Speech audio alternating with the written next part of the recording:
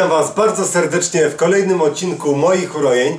Tym razem e, z rozmów o życiu, w otoczeniu, świecie przechodzimy na tą drugą odnogę e, gałąź cyklu Moje urojenie, mianowicie znów powracamy sobie do mini wykładów na temat e, ludologii. Mieliśmy trzecie miejsce ostatnio, wcześniej była czwarta ściana i jej burzenie. Dzisiaj również zaproponuję Wam pewne, myślę, ciekawe zjawisko, jeśli chodzi o to, z czego gry są zbudowane. Chodzi mi tu bardziej o system, myśl, niż jakieś konkretne e, zabiegi graficzne, muzyczne, e, edycyjne. E, Zaproponuję Wam dzisiaj tak zwaną typologię losowej e, rywalizacji oraz jej rolę właśnie w gamingu, w naszej ukochanej e, branży. Różne zabawy pokroju e, szachów, berka, pokera, piłki nożnej, kółka i krzyżyk, eurobiznes, MMO, cokolwiek, paintball, scrabble. Wszystko jest mniej, w mniejszym lub większym stopniu e, po prostu e, grą. To właśnie e, łączy wymienione przeze mnie aktywności, czy to bierne, czy ruchowe, to akurat w tym momencie nie ma żadnego znaczenia. Wszystko jednak charakteryzuje konkretne, mm, powiedzmy, zasady, cele, reguły. Wszystko jest to powiedzmy jakoś mm, zaaranżowane, ustawione, zaprogramowane. Z jednej strony mamy plastik, papier, drewno, czyli budulec, bądź w ogóle siłę własnych mięśni, czyli wszystko to, co e, odpowiada, buduje, e, jest częścią składową, pewnym fundamentem e, gier w ogóle. Z drugiej strony mamy mm, elektroniczny przekaz, procesory, karty, układy e, scalone, czyli mówiąc krótko, zaawansowaną e, technologię, kable e, i tak dalej. I dzisiaj znów powiedzmy zrobimy sobie małą podróż w przeszłość i połączymy to z przyszłością, jaką doskonale znamy, w jakiej codziennie powiedzmy trwamy. Mianowicie francuski pisarz, filozof, socjolog Robert Kailos Kailos, tak się pisze. Dokładnie w roku 1958 zapropono- zaproponował pewną e, typologię dzielącą zjawisko e, w rozumieniu ogólnym, zjawisko zabawy dokładnie na cztery, na cztery e, różne rodzaje. Jest to mimikry, Agon, Ilings i Alea e, bodajże. Zaraz Wam wszystko na spokojnie wytłumaczę. Przejdźmy sobie do e, pierwszego elementu, mianowicie do e, mimikry, co oznacza bezpośrednio naśladowanie, naśladownictwo. I co się za tym kryje? To jest jakby, wiadomo, wcielanie się w postać, odgrywanie pewnej roli. Co za tym idą? No, rozbudowane systemy kreacji alternatywnej osobowości, pokroju tworzenie własnego awatara, protagonistów, głównego bohatera w danej grze, którym przychodzi nam sterować. Kailos kiedyś rozumiał to jako ym, wysnuł taki wniosek na podstawie zabawy y, chociażby w policjantów i złodziei, y, zabawa w lekarza, y, w dom, bale maskowe, jeśli chodzi o dzieci, teatry, jeśli chodzi o y, doro, dorosłych. Jeśli chodzi o mnie, to ja jego y, naukę w dniu dzisiejszym widzę tak, że jest to praktycznie w tym momencie mm, każda gra komputerowa, albowiem w, praktycznie w każdej, jeżeli no w każdej grze komputerowej odgrywamy jakąś rolę. Kimś bądź czymś sterujemy, bezpośrednio wczuwając się właśnie w tą rolę. To jest mimikry, czyli naśladowanie. Ok, przejdźmy sobie teraz do e, agonu, czyli do wspomnianego współzawodnictwa. E, Standardowo Chodzi tutaj o rywalizację, konkurowanie. To jest powiedzmy esencja gry w ogóle, gdzie raczej jesteśmy satysfakcją właśnie z pokonania żywego bądź sztucznego, kierowanego przez AI oponenta, e, przeciwnika. E, Carlos kiedyś rozumiał to e, na zasadzie, no praktycznie znów z kolei on każdej grze klasycznej, tradycyjnej, czy to są szachy, narty, cokolwiek, zawsze z kimś konkurujemy, czy to jest jakiś nasz znajomy, czy to jesteśmy my sami. Ja to widzę w ten sposób, iż walka z samym sobą, gdzie dochodzi głównie do gratyfikacji pod postacią satysfakcji, że coś nam się udało, z przeciwnikiem sztucznym, wirtualnym, komputerowym, jeśli chodzi o tryb dla pojedynczego gracza, jak i prawdziwym, e, czy jest to właśnie pojedynczy, gdzie jest LAN, podzielony ekran, e, split screen właśnie, czy hot seats, gorące e, krzesła, na przykład bijatyki albo wormsy, jak i masowym. Mam tu na myśli MMORPG, MMORTS, wszystkie powiedzmy gry właśnie masowe. Także tak to widział Kailos, tak widzę to ja. Przechodzimy dalej do trzeciego typu, mianowicie do alei. To jest mm, los. Eee, to jest powiedzmy, że nieważne kto jest e, lepszy, czy ja jako gracz, czy komputerowy przeciwnik jako oponent, czy prawdziwy przeciwnik jako e, mój e, wróg. W tym momencie skill, umiejętności nie mają żadnego znaczenia, bo wszystkim decyduje szczęście bądź nieszczęście, czyli los.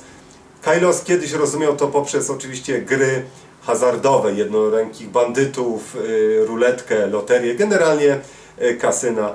W dniu dzisiejszym ja to rozumiem jako znaczy ta kwestia została troszeczkę zaburzona przez fakt występowania autosave'a, ogólnego save'a, quick e, save'a, gdzie powiedzmy ten losowy e, wynik traci troszeczkę na znaczeniu, albowiem przez nas samych, albo przez komputer, jeśli jest to automat, kastruje ten efekt. Kastruje ten efekt i wiadomo, jeśli coś nie poszło po e, naszej myśli, no to wczytujemy poprzedni stan gry. E, Alea też występuje pod inną postacią, głównie w grach CRPG, MMORPG, RPG, JRPG, pod postacią losowej generacji e, przedmiotów, jeśli chodzi o lud, albo przeciwników, tak zwanych random e, encounterów, czyli mamy tutaj właśnie kwestię losu, czyli coś, na co nie mamy bezpośrednio wpływu. To miało w 100% rację bytu w rozumieniu Kailosa, w moim rozumieniu jest to troszeczkę zachwiane, zaburzone, wykastrowane przez ten fakt, że możemy poniekąd sterować tym losem, nie dopuszczając do nieszczęścia poprzez wspomniane chociażby yy, savey. Chociaż random encountery właśnie i lud to już jest coś, co w 100% odpowiada właśnie myśli yy, alei. Ok, został nam y, czwarty typ, mianowicie e-links, czyli y, tak zwane y, oszołomienie. To jest powiedzmy chwilowe zaburzenie e, percepcji, taki swoisty trans, ekstaza, euforia, też trochę taka e, błogość. Kylo zrozumiał to poprzez chociażby, nie wiem, kręco, kręcenie się wokół własnej osi, aż do powiedzmy w, zawrotu głowy, huśtawki, zjeżdżanie w, w rozumieniu dzieci, jeśli chodzi o bungee, snowboard, spadochron, karaoke, czy chociażby nie wiem, wszelakie y, sporty ekstremalne, tutaj w rozumieniu dorosłych. Y, ja odnajduję właśnie e-links, czyli to oszołomienie stricte w grach, gdzie powiedzmy występuje nieprawdopodobna prędkość. Wszelkie symulatory, gdzie oszołomienie, przepraszam, gdzie oszołomienie właśnie wynika z tej rozwijanej y, prędkości. Ścigałki, sportówki, czy właśnie gry y, muzyczne, tu w rozumieniu chociażby takiego hipnotycznego rytmu, który odgrywamy, bądź w który się właśnie y, wsłuchujemy. Wiadomo, no jak w każdym tego typu zestawieniu, często dochodzi do swoistego przenikania się właśnie tych wymienionych elementów, wymyślonych przez Kailosa i rozbudowanych o współczesny gaming przeze mnie, czyli powstają tak zwane e, hybrydy różnej e, maści. Myślę, że tutaj takim sztandarowym przykładem są gry piaskownice pokroju właśnie True Crimes, GTA czy Saints Row, gdzie w strukturze w świecie jednej gry występują, e, występuje masa, praktycznie występują wszystkie te elementy, o których wspomniałem. Chociażby mamy Agon, czyli wyścigi samochodowe, strzelaniny, y, misje, y, zadania generalnie. Alea, no to z kolei minigierki y, hazardowe, losowo generowany ruch drogowy. Mimikry, no to wiadomo, no tutaj wcielanie się w postać naszego głównego awatara, jak mówiłem, to występuje w każdym wypadku. E-links, no to tutaj chociażby swoisty trans wynikający ze skoków spadochronowych, czy nagannego szaleństwa łamiącego wszelkie prawa. Wiadomo, no przykłady można by mnożyć, chociażby weźmy sobie na tapetę jakikolwiek pierwszy, lepszy MMORPG. Tak, ja widzę właśnie taki sztandarowy przykład pewnej hybrydy tych wszystkich wymienionych elementów. Kailos e, widział to chociażby, weźmy sobie grę karcianą, mamy, mamy mimikry, czyli granie twarzą, blefowanie, e, na przykład poker face, Alea, losowość kart, jakie otrzymujemy, nie mamy na to właśnie wpływu.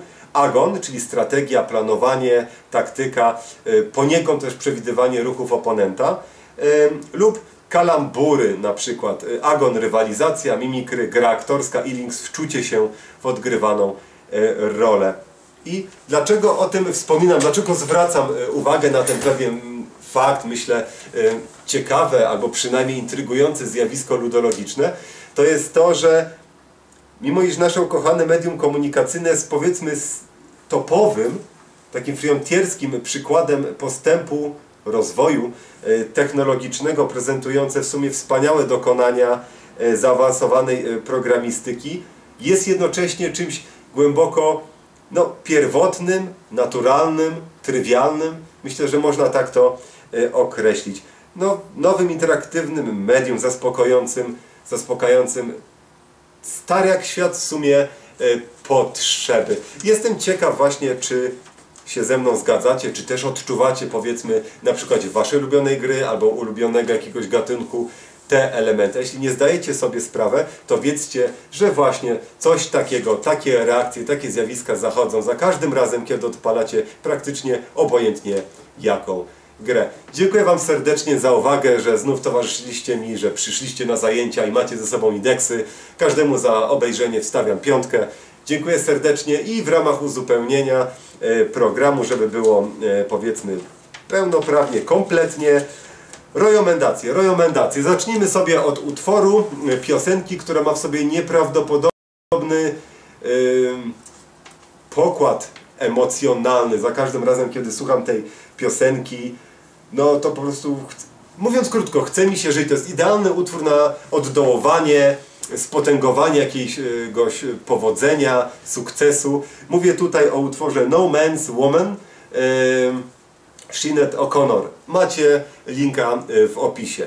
Polecam, naprawdę bardzo fajny, taki optymistyczny, spoko um, utwór. Jeśli chodzi o film, no to dawno nie widziałem e, powiedzmy obrazu, w którym tak uderzyła mnie wręcz doskonała, przekonująca gra aktorska. Tu już nawet nie chodzi o e, plejadę aktorów pokroju e, Kevina Spacey czy Jeremiego Ironsa czy Demi Moore, ale są takie momenty, w ogóle film cały czas trzyma w napięciu, dotyczy jakby genezy mm, właśnie krachu e, na giełdzie, całego kryzysu gospodarczego. Film ciężki, przejmujący, taki troszeczkę oczywiście dający do myślenia, co zmienia, że fakt e, kino ambitne, na każdym kroku raczące no majstersztykiem, jeśli chodzi o grę aktorską. Jak zobaczycie ten film, e, to zwróćcie uwagę, jak gra Jeremy Irons. To jest klasa sama w sobie, Mordor, Rozpierdor, to co kocham. Jeśli oglądaliście, to sobie przypomnijcie właśnie